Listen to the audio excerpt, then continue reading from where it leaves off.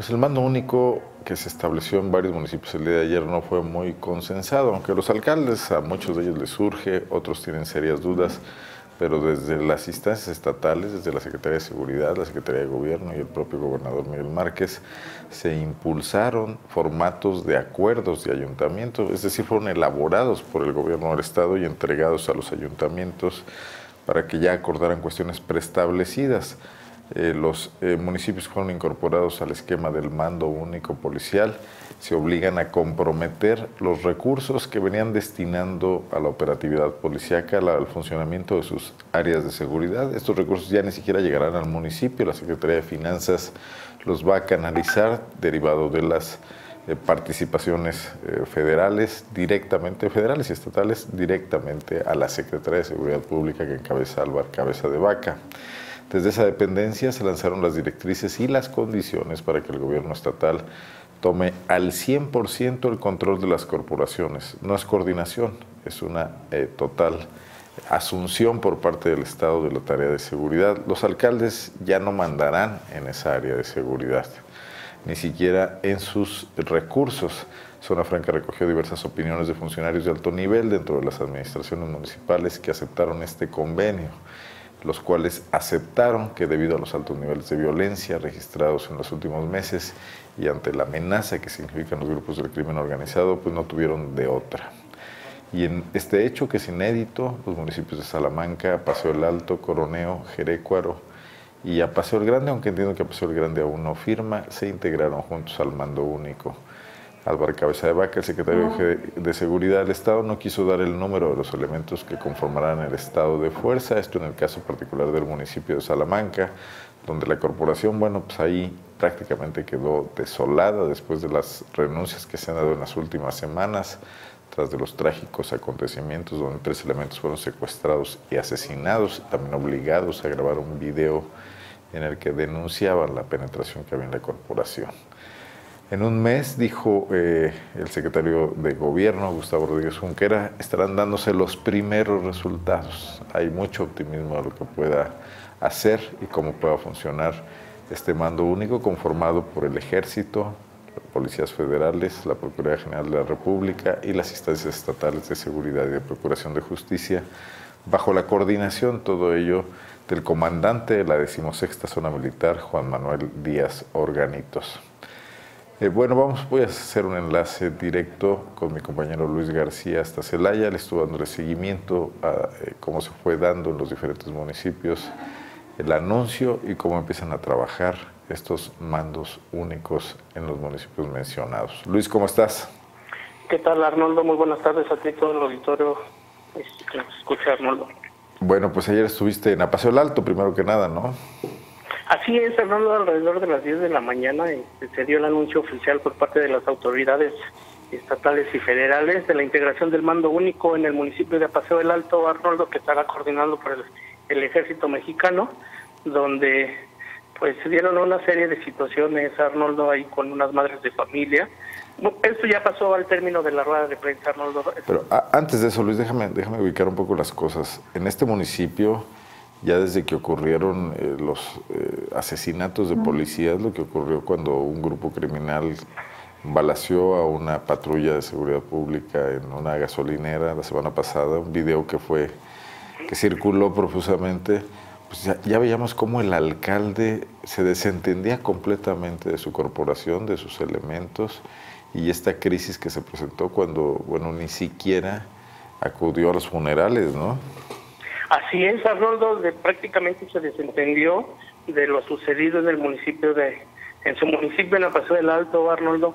Este, recordarás que días días después, días antes de, antes de que se hiciera el anuncio del mando único, este, varios elementos de la policía municipal acudieron a presidencia, donde le exigían el que se les integrara o que se les contratara el seguro de vida, el cual no tienen los policías municipales de aquí, Arnoldo, de Paso del Alto, este, prácticamente el presidente municipal pues, decía que se estaba tratando el tema, pero en una situación desentendida, Arnoldo, como si no le interesara, sabiendo que ya iba a, a nombrarse el mando único en el municipio. Bueno, Luis, eh, esto da un poco de contexto a lo que me vas a platicar ahora, porque ayer en un evento que se antojaba formal, protocolario, se iba a dar conocer el mando único y rápidamente iban a seguir los funcionarios su gira por otros municipios, se presentó este hecho donde se, se, bueno, pues se hizo patente la preocupación, la angustia que está viviendo la población, la sociedad civil de Paseo del Alto con estas mujeres, madres de familia y algunas maestras que, que entran a fuerzas al, al acto de presentación del mando único, ¿no, Luis? Así es, Arnoldo, era un evento este, protocolario para los medios de comunicación, sin embargo se dieron cita varios ciudadanos, entre ellas varias madres de familia, algunas maestras de unas escuelas, Arnoldo, las cuales no fueron invitadas, nos comentaban que ellas se dieron cuenta del evento y pues acudieron para presenciarlo. Y eh, como tú lo comentas, ya al término del, del protocolario, Arnoldo, una madre de familia se levantó este, para preguntarle al presidente municipal dónde radicaba, porque este, había rumores de que el, el alcalde pues radica en el estado de Querétaro, Arnoldo. De que ya no viven a Paseo del Alto, solo va a trabajar y es un decir a Paseo del Alto, ¿no?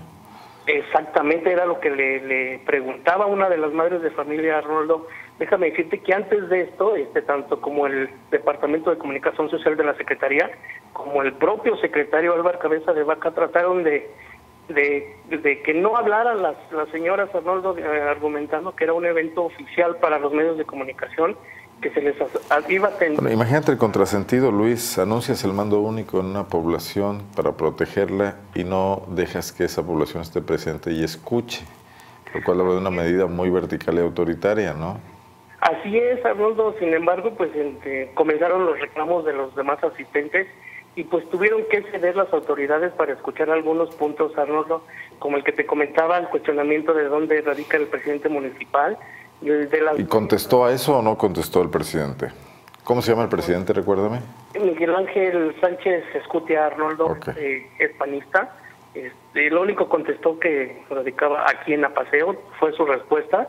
Este, trató de entrar al kit del secretario de Seguridad, Arnoldo, este, estatal, Álvaro Cabeza. Álvaro Cabeza de Vaca queriendo pues como detener a la mujer para que no siguiera los cuestionamientos. Este, sin embargo, pues la señora siguió, a esto le siguió a una maestra, Arnoldo.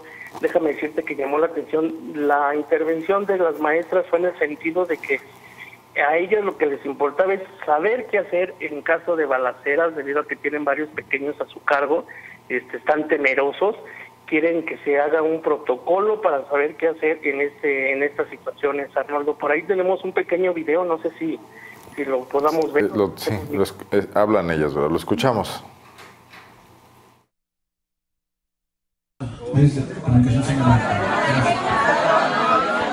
A ver, adelante, por favor.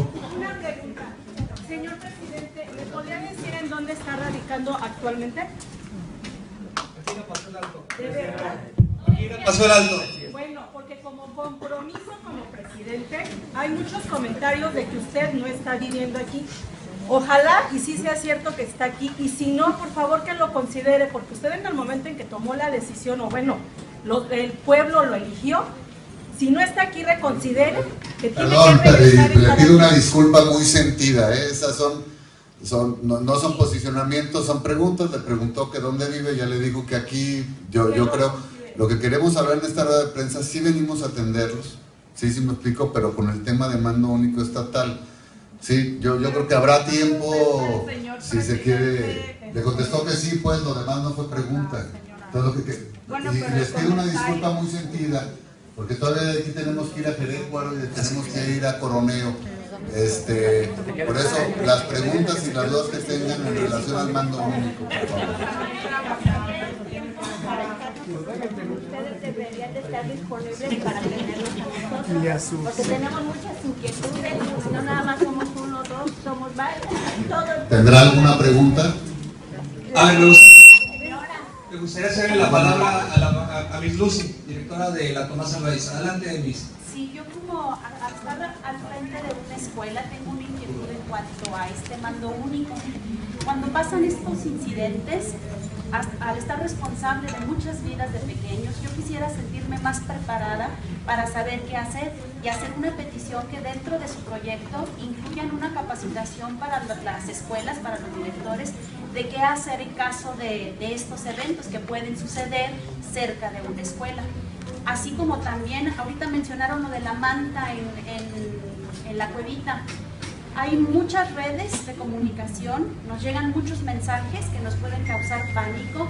¿Ustedes han considerado el tener algún medio de comunicación confiable que nosotros podamos, al que nosotros podamos acudir y que con confianza podamos estar enterados de qué acciones tomar en caso de que haya alguna eventualidad? Claro que sí, Miss. Mire, de hecho se va, a se va a trabajar de manera integral, ya lo comentaba el general Organitos, se va a trabajar muchísimo en lo que es la parte de la prevención.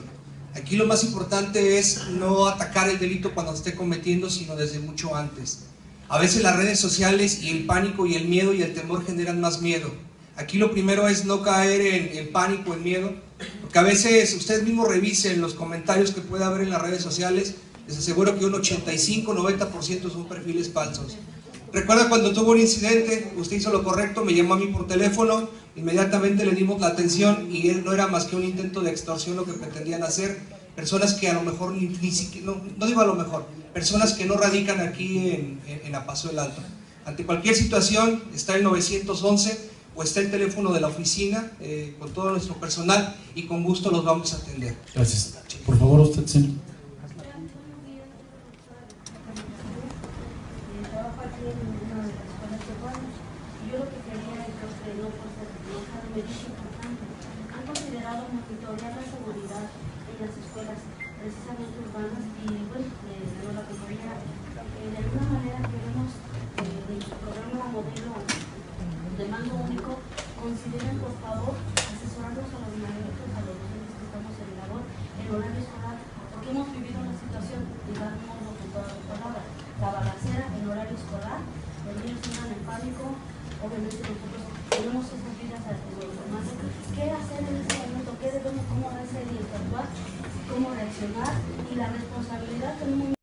Apenas se alcanzó a oír, pero la segunda, la tercera intervención parece ser también de una maestra que pide pues igual instrucciones o protocolos para saber cómo reaccionar cuando haya enfrentamientos o balaceras cerca de un plantel escolar. Bueno, eran las inquietudes de la población de Apaseo el Alto, una población que no había sido invitada, Luis, que debió pues hacerse un lugar ahí para que la escucharan los altos funcionarios que estaban anunciando el mando único. Y uno se pregunta, si el mando único es para darle tranquilidad a la población, pues ¿por qué solamente hacerlo en ruedas de prensa donde los funcionarios, pues a menudo, y es una pena por la prensa, no tienen tantos cuestionamientos como los que tendrían de los ciudadanos directamente que han sufrido el embate de la inseguridad, ¿no? Así es, Arnoldo, este, y como tú lo pudiste ver y escuchar, este, al muy, muy estilo del secretario de Seguridad Estatal, Álvaro Cabeza de Vaca, tratando de, de detener los reclamos de la ciudadanía, muy a su estilo. Sí, un poquito de prepotencia ideal, porque por más que pida disculpas, se le sigue notando que quiere que las cosas sean a su modo y, no como no dialogar, no escuchar a la gente. Bueno, Así es, muy callado también Gustavo Rodríguez Junquera, secretario de Gobierno, que creo que debería haber llevado la voz cantante por ser la cabeza del Gabinete de Seguridad Estatal. Así es, Luis, eh, ¿qué más ocurrió? Bueno, ya no tuviste noticias sobre lo que pasó en Jerecuaro, en Coroneo. Este, mm, eh, lo único que sabemos fue la presentación, Arnoldo, fue un poco más cerrada estas presentaciones en las presidencias municipales, en los, en los salones de Cabildo Arnoldo, donde pues se les presentó el mando único a los regidores y a los medios de comunicación, ahí sí no se pudo apreciar este ciudadanos, este ya fue un poco más tranquilo y solamente se hizo el anuncio.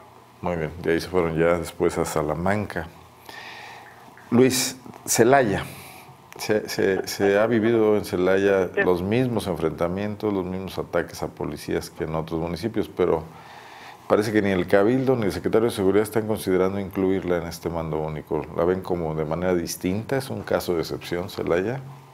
Así es, este, el mismo propio Álvaro Cabeza de Vaca ayer mismo decía Arnoldo que en Celaya no es necesario que se sigue trabajando en coordinación. Este mencionó que ha bajado la incidencia delictiva del fuero común, Arnoldo, aunque como siempre no dan cifras. Este, dice que Celaya no está en un caos para, para integrar. ¿Y qué dicen los celayenses? ¿Tú vives en Celaya? ¿Están o no en un caos? Eh, Luis. Bueno. Sí, te digo, los celayenses, ¿qué dicen? ¿Están o no en un caos? Este, pues son, este, pues básicamente la ciudadanía sí está enojada, Arnoldo. Este, ayer mismo hubo hechos delictivos, ¿no? Así es, eh, ayer mismo se presentaron este, dos, dos muertos, Arnoldo, dos ejecutados. Este, uno, déjame decirte que en un arroyo se encontró una camioneta este, volcada, al parecer este, ya tenía varios días ahí, en su interior estaba un hombre. Se habla de que este hombre estaba maniatado este, con disparos de arma de fuego, Arnoldo. Esto no, no ha sido confirmado por la autoridad ministerial, pero eso es lo que algunos lugareños nos comentaron en el lugar, Arnoldo. Otro, este, poquito más tarde, después de las seis de la tarde, Arnoldo, se, se registró una ejecución este, a unos metros del, del Hospital General de aquí de Celaya, Arnoldo, de un taxista que estaba estacionado, al parecer estaba esperando su pasaje que había llevado a ver a su familiar al hospital, cuando pues llegó un hombre y le disparó a quemarropa a Arnoldo, este, tirándole unos cinco o seis disparos de arma de fuego, quedando sin vida en el interior del automóvil Arnoldo. ¿Un momento en que el hospital estaba concurrido? Sí, sí, déjame decirte que bueno, como lo comentas Arnoldo, este, causó pánico efectivamente entre la, los, los que asisten a ver a sus familiares. Esto porque, pues como ya no pueden entrar al Hospital General, este, a las instalaciones, Arnoldo, este, los familiares, solamente una persona, pues se quedan afuera este, en la calle, que básicamente pues está concurrida todo el día prácticamente. Este, causó pánico y pues sí, mucha gente nos comentó que tuvo que correr, como siempre, y algunos tirarse al suelo, los más cercanos a Arnoldo, pero sí, sí, sí causó pánico este hecho en el hospital general. Bueno, y dice el que ahí no hay caos. Muy bien. Luis, ¿algo más para agregar? Este, pues nomás comentarte, Arnoldo, que acá por la región, en otros municipios, también se presentaron ejecuciones. Déjame decirte rápidamente que en, en Salvatierra se presentó una ejecución de un joven, en Oriangato se presentó otra de otro hombre, Arnoldo, en Yuriria que también este, se está incrementando ahí la ola de violencia, sino es que ya tiene tiempo, un ataque a balazos dejó una persona muerta y dos heridos, este, y es lo que ha pasado el día de ayer en, esta región. Seguimos atentos, Luis. Muchas gracias. Gracias, buenas tardes. Buenas tardes.